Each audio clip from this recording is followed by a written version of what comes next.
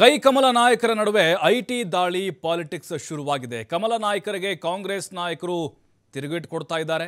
ದಾಳಿ ವೇಳೆ ಸಿಕ್ಕಿದ್ದು ಬಿಜೆಪಿಯವರ ಹಣ ಅಂತ ಹೇಳಿದ್ದಾರೆ. ಸಚಿವ ಎಂ ಬಿ ಪಾಟೀಲ್.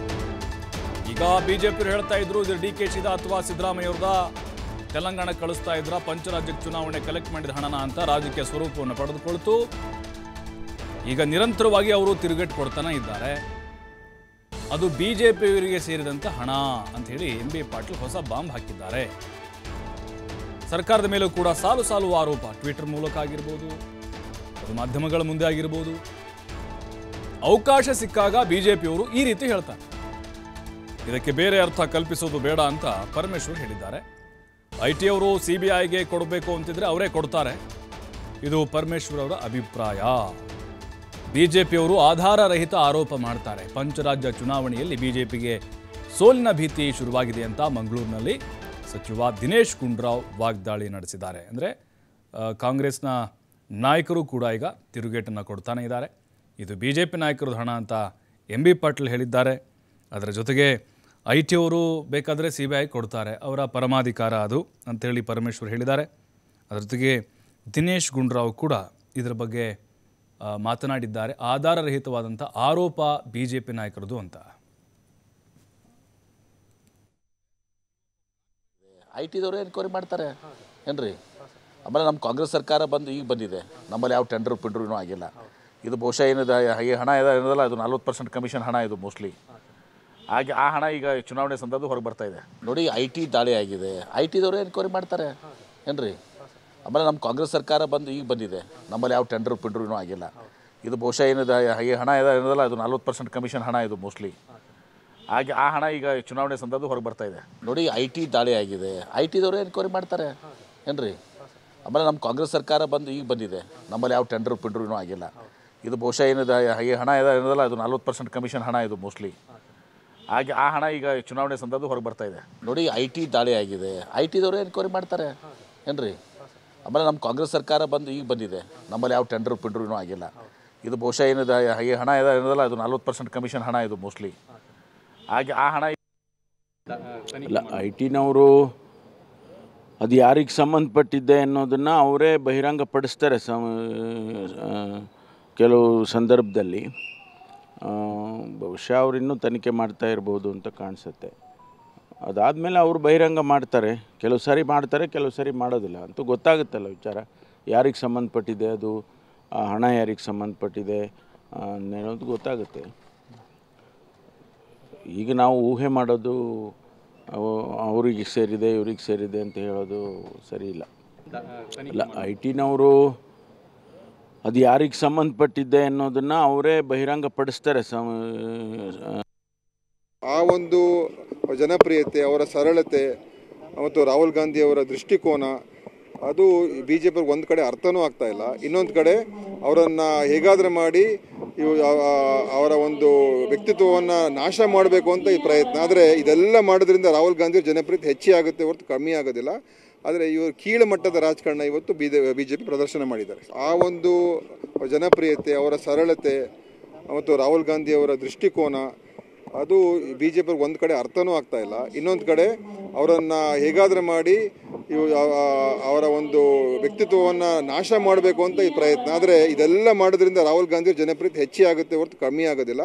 ಆದರೆ ಇವರು ಕೀಳು ಮಟ್ಟದ ರಾಜಕಾರಣ ಇವತ್ತು ಬಿ ಬಿ ಜೆ ಪಿ ಪ್ರದರ್ಶನ ಮಾಡಿದ್ದಾರೆ. ಆ ಒಂದು ಜನಪ್ರಿಯತೆ, ಅವರ ಸರಳತೆ ಮತ್ತು ರಾಹುಲ್ ಗಾಂಧಿ ಅವರ ದೃಷ್ಟಿಕೋನ ಅದು ಬಿ ಜೆ ಪಿಗೆ ಒಂದು ಕಡೆ ಅರ್ಥನೂ ಆಗ್ತಾ ಇಲ್ಲ. ಇನ್ನೊಂದು ಕಡೆ ಅವರನ್ನು ಹೇಗಾದರೂ ಮಾಡಿ ಇವು ಅವರ ಒಂದು ವ್ಯಕ್ತಿತ್ವವನ್ನು ನಾಶ ಮಾಡಬೇಕು ಅಂತ ಈ ಪ್ರಯತ್ನ. ಆದರೆ ಇದೆಲ್ಲ ಮಾಡೋದ್ರಿಂದ ರಾಹುಲ್ ಗಾಂಧಿ ಜನಪ್ರಿಯತೆ ಹೆಚ್ಚಿ ಆಗುತ್ತೆ ಹೊರತು ಕಮ್ಮಿ ಆಗೋದಿಲ್ಲ.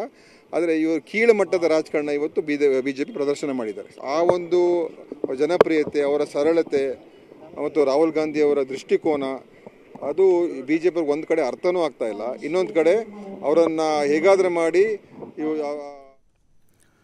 ನೋಡಿ, ಕಾಂಗ್ರೆಸ್ ಹಾಗೆ ಬಿ ಜೆ ಪಿ ನಾಯಕರ ಮಧ್ಯೆ ಈ ಐ ಟಿ ದಾಳಿ ಪಾಲಿಟಿಕ್ಸ್ ಮಾತ್ರ ನಿಲ್ತಿಲ್ಲ. ಅಂಬಿಕಾಪತಿ ಅವ್ರ ಮನೆಯಲ್ಲಿ ನಲವತ್ತೆರಡು ಕೋಟಿ ಹಣ ಏನು ಪತ್ತೆ ಆಯಿತು. ಈಗ ಪ್ರದೀಪ್ ಹೇಳಿದಾರಲ್ಲ, ಅಂಬಿಕಾಪತಿ ಮಗ ಪ್ರದೀಪ್ ಫ್ಲಾಟ್ನಲ್ಲಿ ಸಿಕ್ಕಿದ್ದು. ಪ್ರದೀಪ್ ಈಗ ವಿಚಾರಣೆಯನ್ನು ಎದುರಿಸಿದ್ರು, ಐ ಟಿ ಅವ್ರದ್ದು. ಅವ್ರು ಹೇಳಿದ್ದಾರೆ, ಅಲ್ಲಿ ಸಿಕ್ಕಿದ್ದು ಇಪ್ಪತ್ತು ಕೋಟಿ ಅಂತ. ಅದಕ್ಕೂ ರಾಜಕೀಯಕ್ಕೆ ಸಂಬಂಧ ಇಲ್ಲ, ಇದು ಲ್ಯಾಂಡ್ ಹಣ ಅಂತ ಅವ್ರು ಹೇಳ್ತಾರೆ. ಇವರು ಯಾವುದೇ ಆಧಾರ ಇಲ್ಲದೆ ಈ ರೀತಿಯಾಗಿ ಕಾಂಗ್ರೆಸ್ಗೆ ಸೇರಿದ್ದು ಬಿ ಜೆ ಪಿಗೆ ಸೇರಿದ್ದು ಅಂತ, ಇವರಷ್ಟಕ್ಕೆ ಇವರೇ ಈಗ ಏನೇ ಪತ್ತೆಯಾದರೂ, ಏನೇ ಸಿಕ್ಕರೂ ಅದು ರಾಜಕೀಯ ಬಣ್ಣವನ್ನು ಪಡೆದುಕೊಳ್ತಾ ಇದೆ. ಮತ್ತಷ್ಟು ಮಾಹಿತಿ ಶಿವಕುಮಾರ್ ನೀಡ್ತಾರೆ. ಶಿವಕುಮಾರ್, ಈಗ ಗಮನಿಸ್ತಾ ಇದ್ದೀವಿ, ಏನೇ ಒಂದು ದಾಳಿ ಆದರೂ, ಎಲ್ಲೇ ದುಡ್ಡು ಸಿಕ್ಕರೂ ಕೂಡ ಅದು ಒಂದು ರಾಜಕೀಯ ಬಣ್ಣವನ್ನು ಇತ್ತೀಚೆಗೆ ಪಡೆದುಕೊಳ್ತಾ ಇದೆ. ಅದು ಸಹಜ ಅಂತ ಅನ್ನಿಸ್ಬಿಟ್ಟಿದೆ. ಬಟ್ ಈಗ ಯಾವ ಸ್ವರೂಪಕ್ಕೆ ಹೋಗ್ತಾ ಇದೆ ಅಂತ ಹೇಳಿದ್ದು? ಪ್ರಭು, ಐ ಟಿ ದಾಳಿಯಾದ ನಂತರ ಸಾಕಷ್ಟು ಚರ್ಚೆಗಳು ಶುರುವಾಗಿದೆ. ಆರೋಪ, ಪ್ರತ್ಯಾರೋಪಗಳು ಮುಂದುವರೆದಿದೆ. ಕಳೆದ ನಾಲ್ಕು ದಿನಗಳಿಂದಲೂ ಕೂಡ ಪ್ರತಿಪಕ್ಷ ಹಾಗೆ ಆಡಳಿತ ಪಕ್ಷದ ನಾಯಕರ ನಡುವೆ ವಾಕ್ಸಮರ ಕೂಡ ಹೆಚ್ಚಾಗ್ತಾ ಇದೆ. ಒಂದು ಕಡೆ ಇದು ಸಾಕಷ್ಟು ಮುಜುಗರವನ್ನ ತರ್ತಾ ಇದೆ. ಯಾಕೆಂದ್ರೆ ಪೇ ಸಿ ಎಂ ಅಭಿಯಾನವನ್ನ ಶುರು ಮಾಡಿದ್ದಂತ ಕಾಂಗ್ರೆಸ್ ಈಗ ಅದೇ ಐ ಟಿ ಇಲಾಖೆ ದಾಳಿಯ ನಂತರ ಕಮಿಷನ್ ಹಣ ಇರಬಹುದು ಅನ್ನುವಂತ ಹಿನ್ನೆಲೆಯಲ್ಲಿ ಈಗ ತಾನೇ ಪೇಚಿಗೆ ಸಿಲುಕ್ತಾ ಇದೆ. ಯಾಕಂದ್ರೆ ಹೋರಾಟವನ್ನ ರೂಪಿಸಿತ್ತು ಹಿಂದೆ ಬಿಜೆಪಿ ಸರ್ಕಾರ ಅಧಿಕಾರದಲ್ಲಿ ಇದ್ದಂತ ಸಂದರ್ಭದಲ್ಲಿ ನಿರಂತರವಾಗಿ ಹೋರಾಟಗಳನ್ನ ಮಾಡಿತ್ತು ಪೇಸಿಎಂ ಅಭಿಯಾನವನ್ನ ಮಾಡಿತ್ತು ನಲವತ್ ಪರ್ಸೆಂಟ್ ಕಮಿಷನ್ ವಿಚಾರದಲ್ಲಿ ಸಾಕಷ್ಟು ಪ್ರತಿಭಟನೆಗಳನ್ನು ಕೂಡ ನಡೆಸಿತ್ತು. ಈಗ ರಾಜ್ಯ ಸರ್ಕಾರಕ್ಕೆ ಅದೇ ರೀತಿಯಾದಂತ ವಿಚಾರಗಳು ಈಗ ಸಾಕಷ್ಟು ಮುಜುಗರವನ್ನ ತರ್ತಾ ಇದೆ. ಐಟಿ ದಾಳಿಯ ನಂತರ ಸಿಕ್ಕಂತಹ ನಲವತ್ತು ಕೋಟಿ ಹಣ, ನಂತರ ಮತ್ತಷ್ಟು ಪತ್ತೆಯಾದಂತಹ ಹಣ, ಸುಮಾರು ತೊಂಬತ್ತು ಕೋಟಿಗೂ ಹೆಚ್ಚು ಹಣ ಏನೀಗ ಪತ್ತೆಯಾಗಿದೆ ಇದರ ಮೂಲ ಯಾವುದು? ಇದರ ಮೂಲ ಕಾಂಗ್ರೆಸ್ನಲ್ಲಿರುವಂತಹ ಕೆಲವು ನಾಯಕರು ಅನ್ನುವಂಥದ್ದು ಈಗಾಗಲೇ ದೊಡ್ಡ ಮಟ್ಟದಲ್ಲಿ ಚರ್ಚೆ ಆಗ್ತಾ ಇದೆ. ಮತ್ತೊಂದು ಕಡೆ ಬಿಜೆಪಿ ನಾಯಕರು ನೇರವಾಗಿ ಕಾಂಗ್ರೆಸ್, ಡಿ ಕೆ ಶಿವಕುಮಾರ್ ಹಾಗೆ ಬೈರತಿ ಸುರೇಶ್ ಅವರ ಕಡೆ ನೇರವಾಗಿ ಬೆರಳನ್ನ ತೋರಿಸ್ತಾ ಇದ್ದಾರೆ. ಅವರಿಗೆ ಸೇರಿರುವಂತಹ ಹಣ ಅಂತೇಳಿ. ಆದ್ರೆ ಈ ಕಡೆ ಡಿ ಕೆ ಶಿವಕುಮಾರ್ ಕೂಡ ಅದು ಬಿಜೆಪಿ ಅವರಿಗೆ ಸೇರಿರುವಂತಹ ಹಣ ಅಂತೇಳಿ ಈಗ ಆರೋಪಗಳನ್ನ ಮಾಡ್ತಾ ಇದ್ದಾರೆ. ಹಾಗಾಗಿ ಅಧಿಕ ಐ ಟಿ ಇಲಾಖೆ ಅದರ ಒಂದು ಸ್ಪಷ್ಟತೆ, ಸ್ಪಷ್ಟತೆಯನ್ನ ಕೊಡ್ಬೇಕಾಗತ್ತೆ. ಯಾ, ಯಾಕೆ ಇನ್ನೂ ವಿಚಾರಣೆ ಮುಂದುವರೆದಿರೋದ್ರಿಂದ ಸಹಜವಾಗಿ ಎಲ್ಲಿಂದ ಹಣ ಬಂತು, ಯಾರಿಗೆ ಸೇರಿದಂತಹ ಹಣ, ಮತ್ತೆ ಇದು ಅಂಬಿಕಾಪತಿ ಅವರಿಗೆ ಸೇರಿರುವಂತಹ ಹಣನ, ಅಥವಾ ಬೇರೆಯವರು ಅವರ ಬೇರೆ ಕಡೆ ಅದನ್ನ ಸಾಗಿಸೋದಕ್ಕೆ ಏನಾದ್ರೂ ಅಲ್ಲಿ ಶೇಖರಣೆ ಮಾಡಿಟ್ಟಿದ್ರ ಇದೆಲ್ಲವೂ ಕೂಡ ಐ ಟಿ ಇಲಾಖೆಯ ವಿಚಾರಣೆಯಲ್ಲಿ ಹೊರಗ್ ಬರಬೇಕಾಗತ್ತೆ.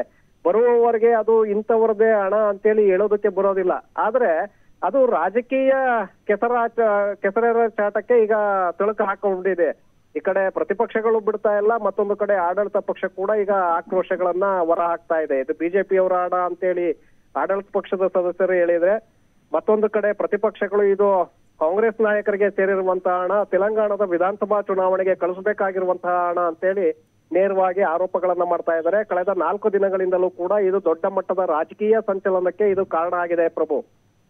ಥ್ಯಾಂಕ್ ಯು ಶಿವಕುಮಾರ್ ಮಾಹಿತಿಗಾಗಿ.